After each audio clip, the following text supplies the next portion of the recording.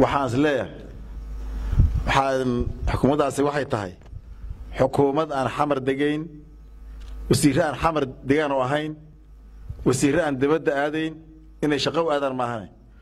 Waxaan idinkeenna wasiirro golo wasiirro oo marka ay safrayaan u baxaya safar shaqo oo keliya. Inta xamar la deganaado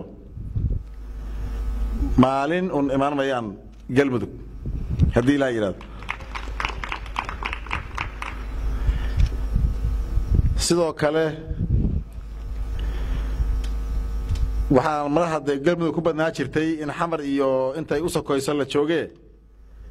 Aniga halkan waxaan joogaa shan bilood iyo xoogaa. Hal maalinna ma tegin xamar. Marka madaxweynahuna sidaasoo kalena waxaan leeyahay iyo madaxweyne ku-xigeenku xamar ma deganaa doonaan? Haddii ilaa yidhaha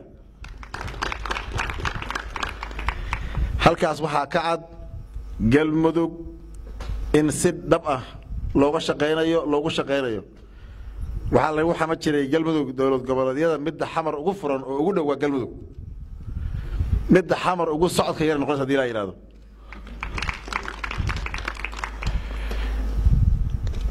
hawl badan baana sugaysa sidii la sheegay waddo dheer baanu u soconnaa insha allah. Ilahay idankii waanu ku guulaysanaynaa waxaan rabnaa xukuumad iyo baarlamaan iyo shacab inaan gacmaha isqabsanno. Mas'uuliyad wadareed ay tahay inaan ka wada mir dhalino ayaan haynaa na wada saaran. Inaan gacmaha isqabsanno amni iyo kala dambayn aan ku soo celinno dhammaan haddii ilaa yidhaahdo deegaanada galmudug.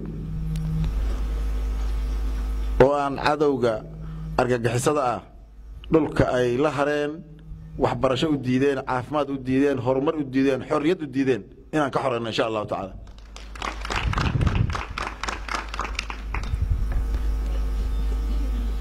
Gudaha galmudug inaan ka dhowrno colaado yaryar iyo isku dhacyo reer guuraa ka dhex dhaca maalin walba inaan ka dhowrno sidaad ogtihiin maalin dhood sidii uu soo saaray asbuuc ka hor.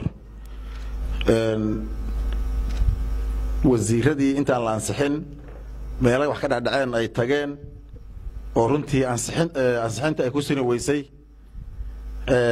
ma dhici doonto lamana aqbalayo wixii caawa ka dambeeya qof qalad uu galay ama dhibaato qof uu geystay dad soomaaliyeed in dhiigoodu macno darro isugu baxo.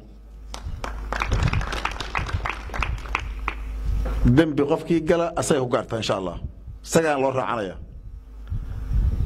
Deegaano iyo meelo la isku qabqabsadana ma dhacayso oo waxaa mas'uuliyadda iskale dowladda ciddii deegaan iyo meel wax laga sameeyo loo fasaxana way samaynaysaa deegaankii aan fasax loo haysanna lagama samayn doono. Saxna ma ahan. Baahi waxaysan ka jirin oo looga jeedo waxyaabo kale lama samaynayo. Arrintaasna wasaaradihii lahaa waa aan siinay inay ka howlgalaan haddii ilaah yidhaahdo. Meelahan runtii galmudug waxaa aad ugu soo laalaabta. Isku dhacyo yaryar oo dadka reer guuraaga dhexdooda ka dhaca oo dhibaato keena. Taasna waxaan rabnaa inay ku istaagto oo ay ku dhammaato inay qof wax uu geystay ay ku ekaato.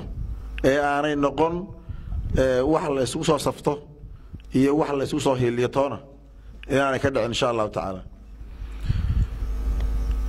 Dib heshiisiintii siyaasadeed guul weyn baan ka gaarnay haddii xitaa qof markaas bacdi tabasho xitaa la soo baxa uu jiro iyada lafteeda diyaar baan una qof kasta oo reer galmuduga oo aan xumaan wax ku doonayn oo aan dhibaato wax ku doonayn diyaar baan u nahay inaan la hadalno la fadhiisanno isqancinno diyaar baan una sidoo kale tabashooyinka qaarkood ama tabashooyin haddii ay jiraan iyagana tabashadii aan oo salba leh ama jirta waa ka garaabaynaa waana ka ka qancinaynaa. Hadduu qof qabo iyo hadday kooxa qabto iyo haddii degaan qabo intaba. Waxay noo joogtaa mar walba inaan gacanta u haatino yaa wax qaba inaan idhaahno laakiin cid qofka wax qabaa waa inuu noqdo qof tabashadiisu ay wax saxa salka ku hayso waa inuu noqdo qof tabashadiisa ku doonaya si nabada iyo walaalnimo iyo midnimo inuu la gaaro. Ku doonaya. Ee uusan noqon qof waxaan la aqoon doonaya iyo qof wax kale u socda